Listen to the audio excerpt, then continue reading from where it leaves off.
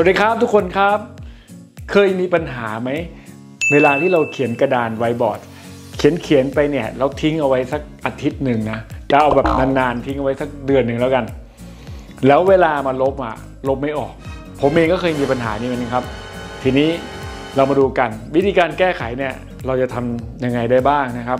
เริ่มต้นโดยกระดานไวบอร์ดของเรานะครับ ลองมาดูซิถ้าเราทิ้งไปนานๆสักเดือนหนึ่งนะ เราลบเนี่ยลบออกไหม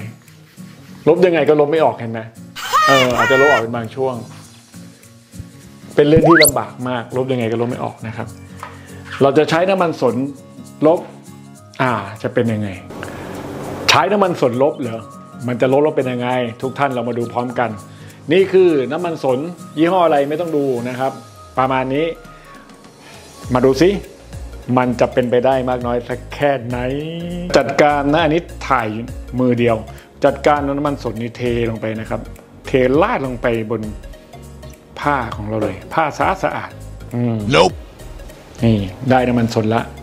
กินมึนๆเลยนะครับ เรามาดูกันน้ำมันสน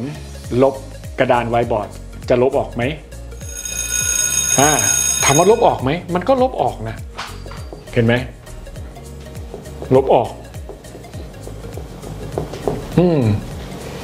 มันก็ถือว่าได้ในระดับหนึ่งนะครับ น้ำมันสน ลบออกเหมือนกัน แต่มันจะต้องใช้ความพยายามในการถูในระดับหนึ่งทีเดียวครับ น้ำมันสนลบออกครับ ทุกท่านครับ แต่จะต้องใช้แรงในการถู solution ต่อไปผมจะใช้ปากกาเนี่ยแหละครับ จากการศึกษาของผมพบว่าปากกาเมจิกที่เราใช้เขียนกระดานไวท์บอร์ดนะครับ มันจะมีตัวหมึกของมัน และตัวหมึกของมันก็จะมีเป็นตัวคล้ายๆ กับตัวทำละลายของมันนะครับเหมือนเป็นแอลกอฮอล์สักอย่างหนึ่งที่อยู่ข้างในนะถ้าพูดผิดไม่รู้มันไม่ทราบกันนะครับ ตัวแอลกอฮอล์หรือตัวทำละลายในตัวหมึกตัวนี้มันก็จะไปทำละลาย ตัวหมึกที่อยู่บนกระดานของเรานี่แหละครับ แล้วคราวนี้มาดูกัน ทฤษฎีนี้จะใช้ได้ผลหรือเปล่า ตรงนี้นะครับเรามาดูกัน เรามาดูกันตรงนี้เลย ผมก็จะขีดขีดอย่างนี้ไป อืม ดูซิมันจะออกไหม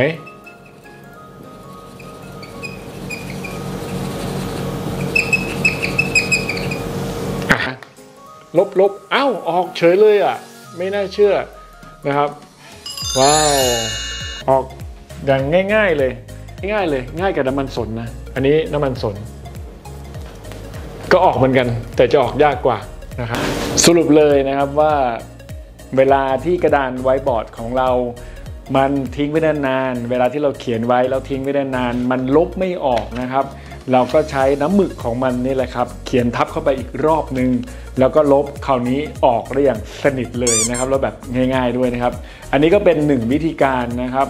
ในการที่เราจะลบหมึกที่เราเขียนเอาไว้แล้วทิ้งไว้นานๆ ถ้าท่านไหนมีวิธีการที่มันเจ๋งๆนะครับ ก็สามารถมา